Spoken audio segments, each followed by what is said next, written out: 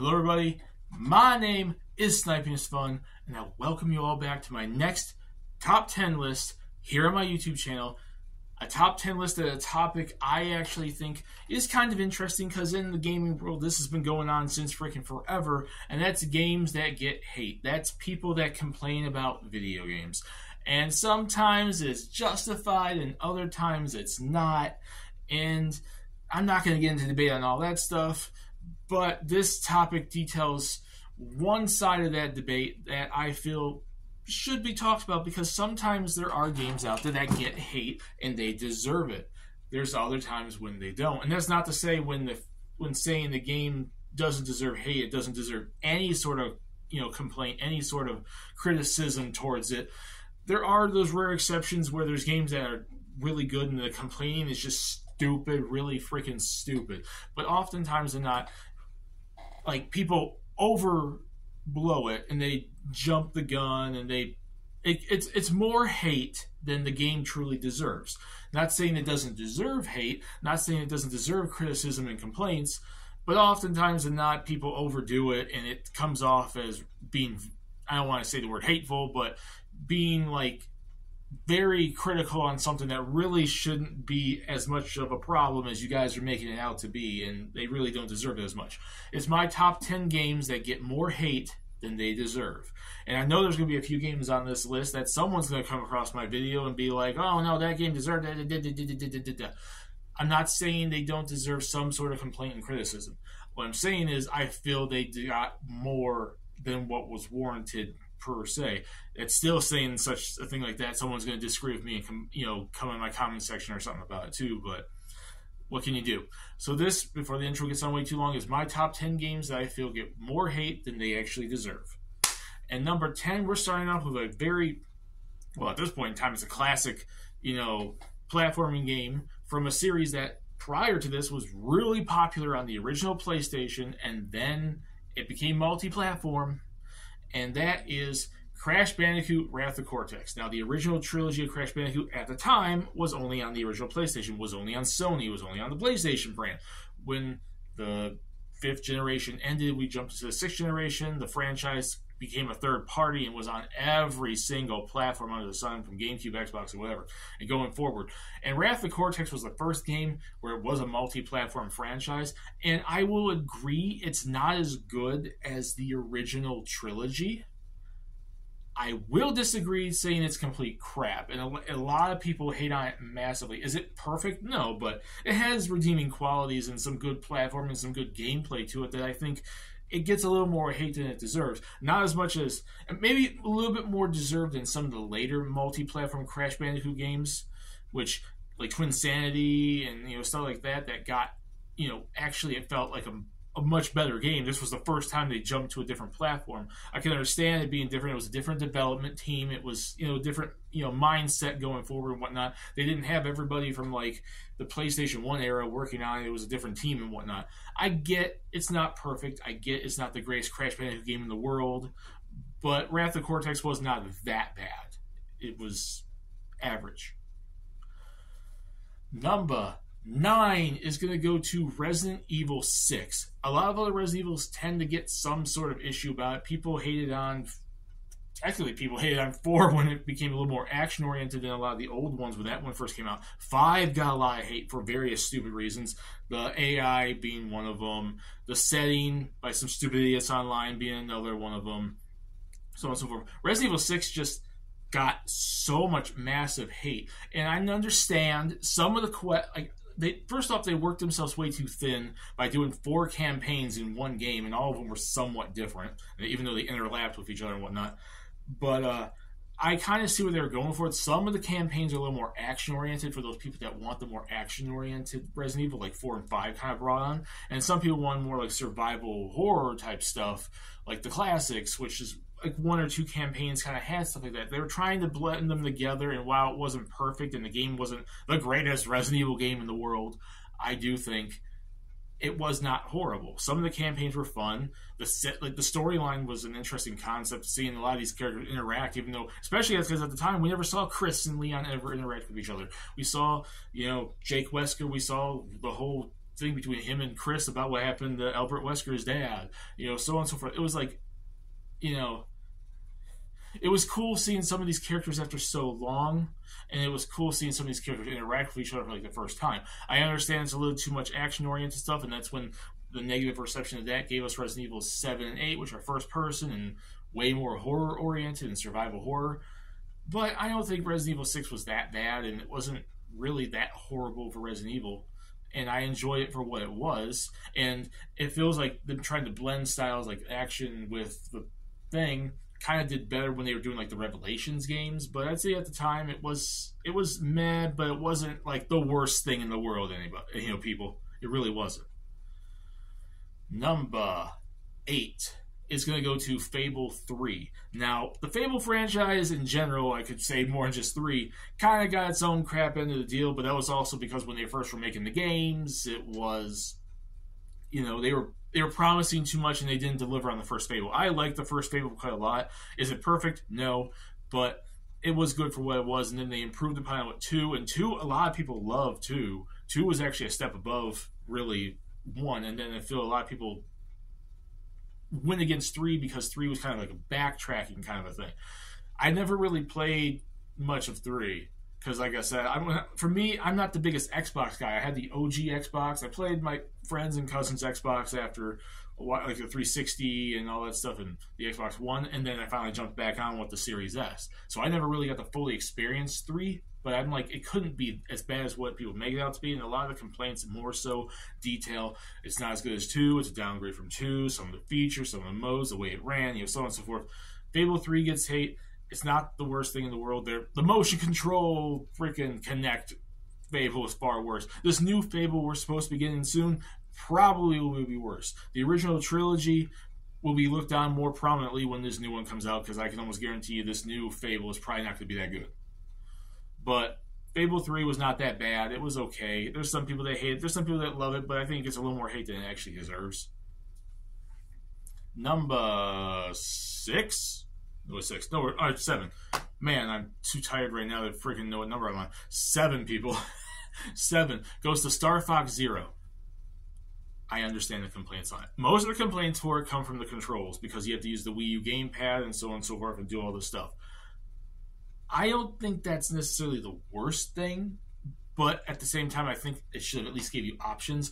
My main complaint with the game, and I've seen people complain about this too, is like it feels like you have this franchise that they were building a storyline up from the Super Nintendo in the 64, and then you just did a hard reset and oh, say the Lylat system from Andross. That was my main complaint for the game, is it felt like it was just a retread, a start over, a remake the controls were like secondary to that. Not saying that means it's a bad game. I just wanted to see more continuation after like Star, uh, you know, Star Fox Command and whatnot.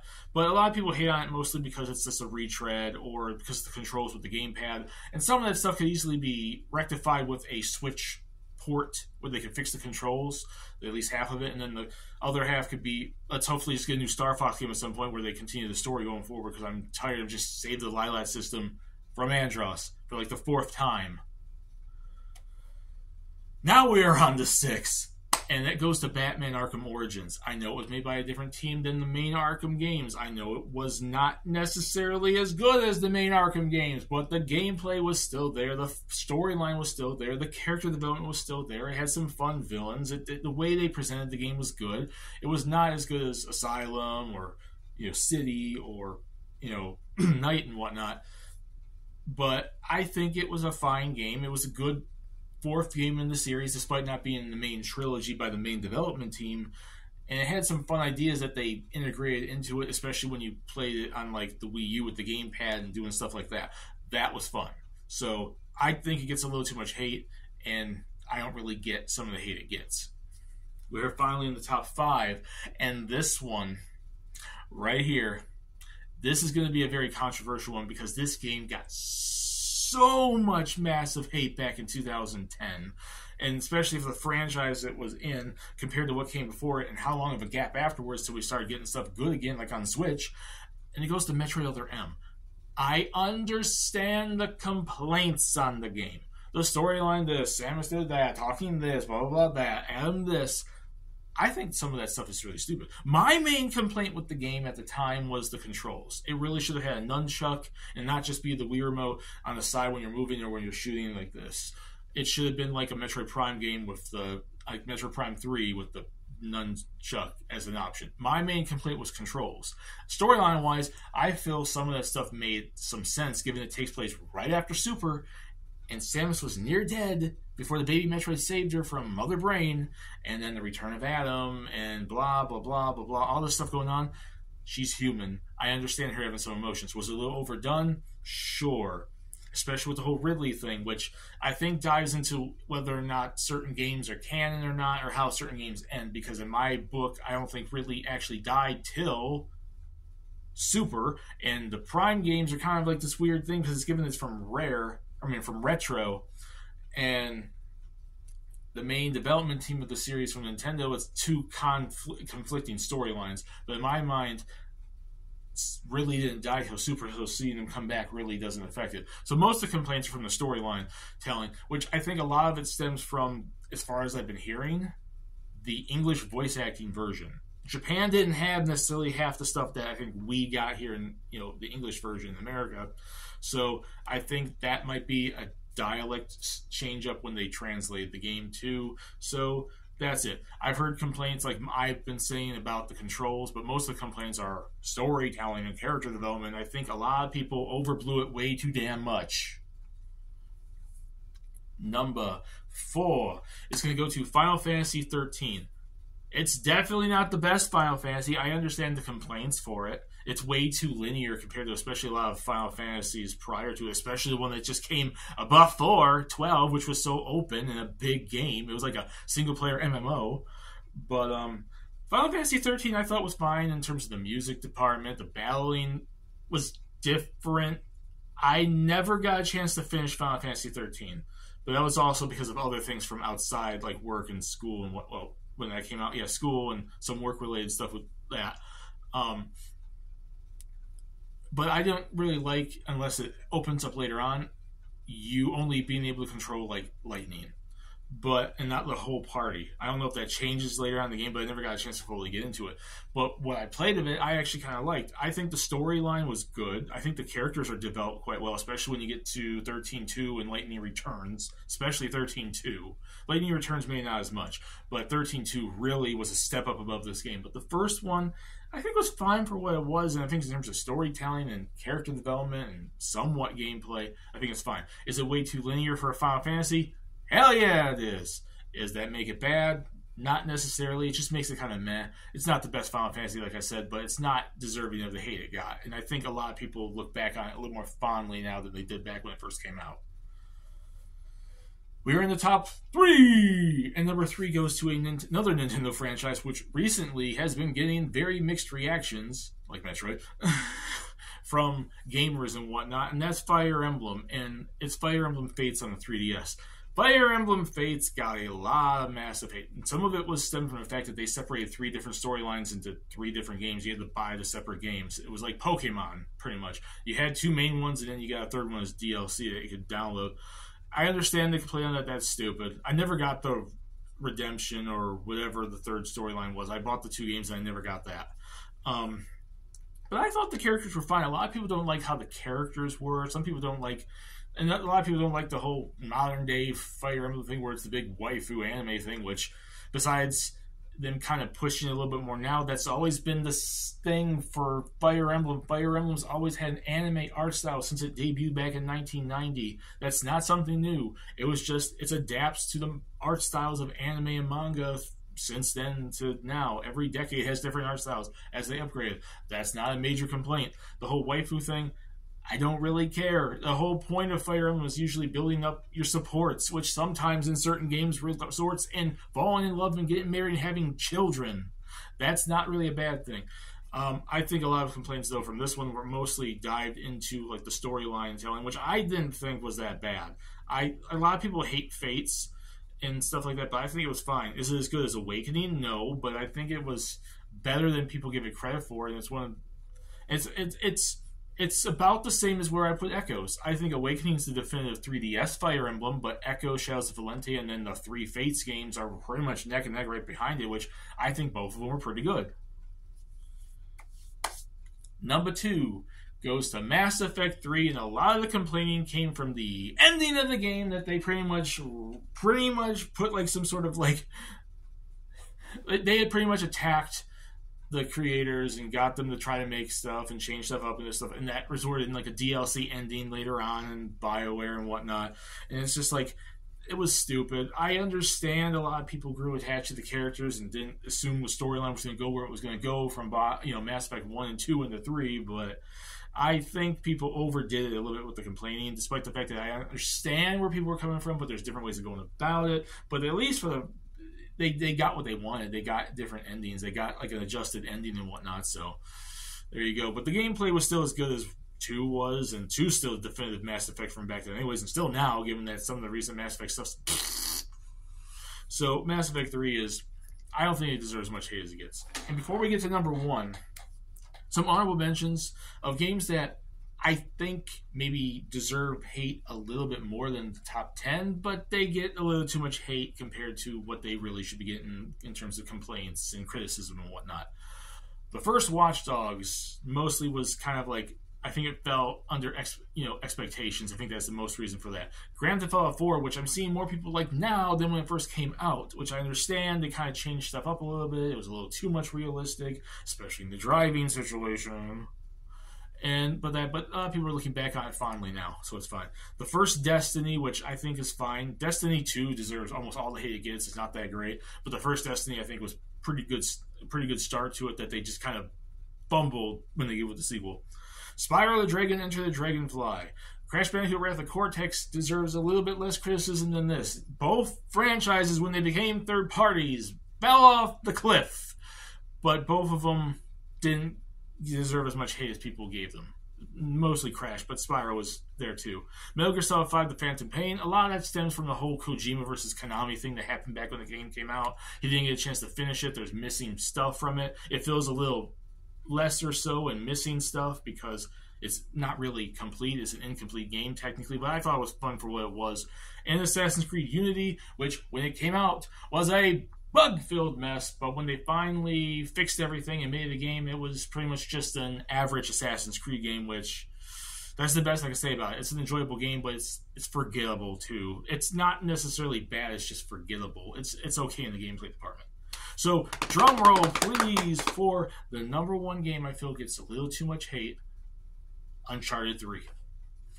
Uncharted 3 gets way more hate than I feel it deserves. Um, I understand people that liked the first two and then one that and didn't really like it. A lot of this stuff stemmed from difference in gameplay. They changed a lot of stuff up, which for multiplayer really ruined like online multiplayer for me in Uncharted 3. But the story mode was still pretty good. And the gameplay wasn't like too far off and power ups and sprinting and all sort of stuff that modern day games at the time had. I still think the story was not as good as 2. 2 is still my definitive favorite Uncharted game of all time for sure. And the online multiplayer was one of the reasons for it, but making me love that game so much. Um, but Uncharted 3 wasn't bad. I got into the story. I liked the characters. I like seeing the backstory on Nathan Drake and so on and so forth. And I'd like to see more. Hmm. And I'd like to see more coming from it. I'd like to. I, I, I didn't have too much of a complaint for the game. Like, it's just it was fun for what it was. I enjoyed it. I got into the characters and the storylines. I finished it, enjoyed it. Finally finished the trilogy at the time before the fourth one came out. And I never played the PSP ones or the PS Vita, whatever one. But I liked it for what it was. It's not as good as two. It's technically not even good as one, sort of, depending on how you look at it. One storyline wise ish. But um, I thought Uncharted Three got a little too much hate back then. I think it's looked a little more fondly now but it doesn't really deserve a lot of the hate it gets. I think it's overall fine. And that's my list. My name is Sniper's Fun. Peace. Please subscribe if you want to. Have a lovely day. Put in the comment section what you guys think. Do you guys think any of these top 10 games plus these honorable mentions deserve the hate they get? And what other games do you personally think get a little too much hate? Put it down there in the discussion section. We could talk about it, have some fun. My name is Sniping is Fun, and I'll see you later in the next video. Bye, everyone.